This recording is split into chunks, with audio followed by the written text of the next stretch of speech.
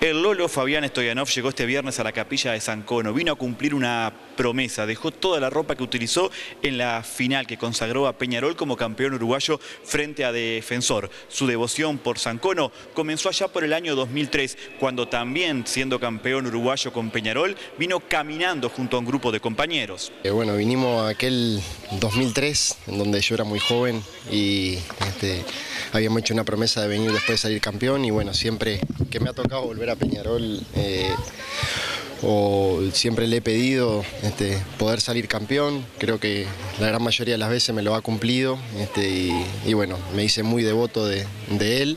Y bueno, eh, le había prometido en, esta final que si ganábamos toda la ropa que yo usaría en, en esa final se la iba a traer y bueno, eh, esperé pasar unos días, este, estar más tranquilo con mi familia y bueno, acá en la mochila le traigo todo, hasta las medias, hasta las canilleras que usé en ese partido, porque, porque bueno, siempre, siempre me cumple y uno también este, tiene que, agradecerle y cumplirle a él. ¿no? El Lolo sueña con jugar la Libertadores con Peñarol, con quedarse para el año próximo. Dijo que no hay un tema económico de por medio. Si fuera por él, se queda a vivir en el Aurinegro. ¿Te quedás? Y si fuera por mí, sí. Este, por mí sí. No es un tema de económico, no es un tema, este, ya es un tema de sentimiento. ¿Y la Libertadores ilusiona? Sí, ilusiona y más cuando estuve estuvimos tan cerca de, poder conseguirla y bueno, esa espinita me quedó y creo que hay plantel y hay buen equipo como para poder luchar por esa copa. ¿Y el micrófono lo colgaste momentáneamente? No, ahora sale, va, a salir un videoclip que, este, que hicimos nuevo, eh, estábamos esperando que terminara el campeonato y, y bueno, va a salir un tema ahora para para el verano, pero este, de, ir a escenarios y esas cosas, no, solamente tipo hobby, porque lo hago con mi pareja y porque me gusta hacerlo, este, pero solamente un videoclip sin ir a cantar a ningún lado. Tema del verano entonces.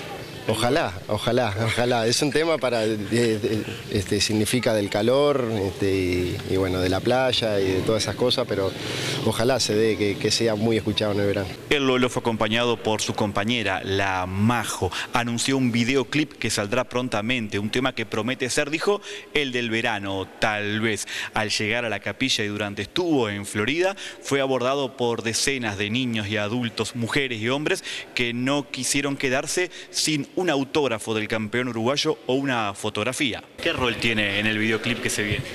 Y canta junto conmigo y hace las partes de él cantadas. Es todo un galán cuando hace los videoclips, así que van a ver algo diferente. Parecido a lo, que era Somos Tú y Yo, bueno, pero un poquito... ¿Rinde como en la cancha también en el videoclip?